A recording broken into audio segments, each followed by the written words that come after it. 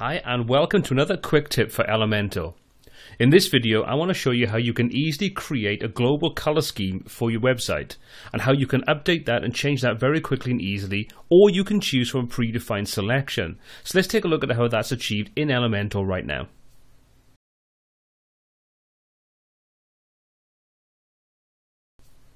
So I created some basic building block elements on a page and as you can see we've got some color schemes going on. We've got a blue title section, red buttons and so on, links and things like that are red.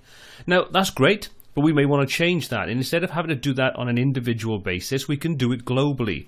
Now, this is pretty cool and very easy to do. If we take a look at the Elementor panel on the left hand side, you can see we've got elements and we've got global. We also have a couple of little buttons in the top left and right hand corners of this particular section. What we're going to do is we're going to jump over to this one that looks like the typical hamburger menu. And when we click on there, you can see we've got a whole range of options that are specific to all of Elementor, not just the element or widget that we're currently working on. So we can do things like assign global colors, global fonts, set up the color picker, and so on. So we're going to concentrate in this quick tip is the global colors.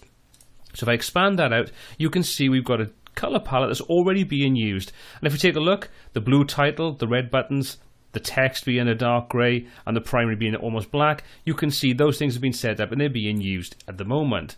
Now let's just say for example we don't want our links and our buttons to be red, we want to choose a different colour. Well we can just choose that by selecting the accent option and we can easily come in and choose a completely alternative colour and you see anything that uses that accent color throughout the entire site, any of the widgets, now is automatically updated and changed.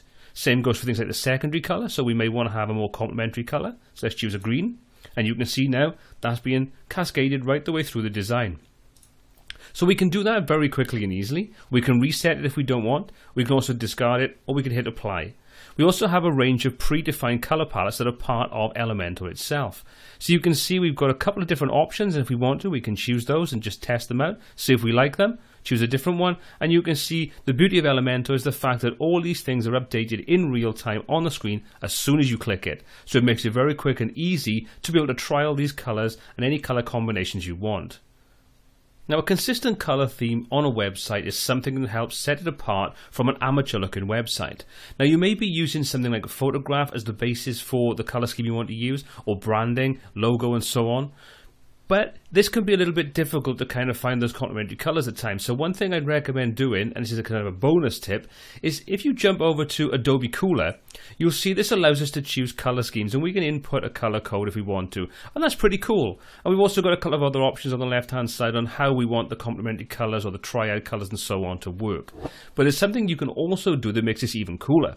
Pardon the pun is if you take a look you've got this little sort of camera icon on the right hand side what we can do is we can create a color palette from an image that we upload so we click we can choose an image and I'm just going to choose this photograph that will upload that and automatically go through and find the colors that are the strongest throughout that entire image. then we could use those as the basis for our website. So we can easily see that with this particular photograph, these five colors are the kind of colors it thinks are the best.